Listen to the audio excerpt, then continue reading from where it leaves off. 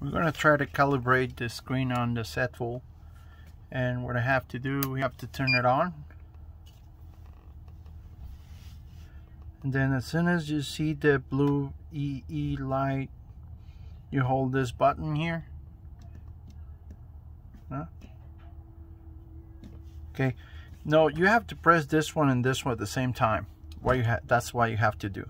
And they say to calibrate, press enter. And then touch the blue point on the right corner. This is the right corner right here. And then press enter. And the left corner. Press enter. And then the right corner. Press enter. And then I finish with the calibration. Press escape.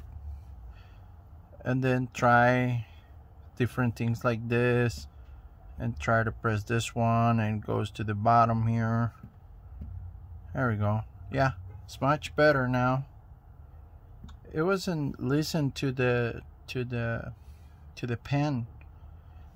It wasn't listening right so I I have that problem. So now you know how to calibrate this screen just in case it's offset uh, when you try to press. For example if you try to press Chrysler Dodge and it goes to the BMW and and um, it happens before to me so that's how I calibrate the screen. And I couldn't find any good uh, video on YouTube so I'm showing you guys how to calibrate the screen. Thank you for watching